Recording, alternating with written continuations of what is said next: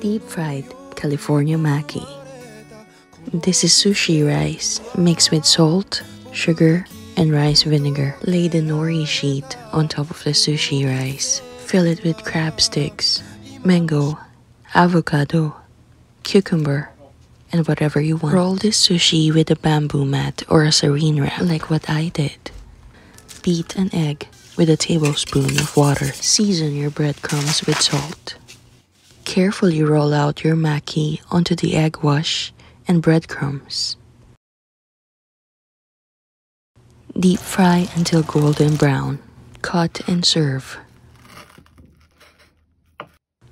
Top with sriracha mayo. Itadakimasu.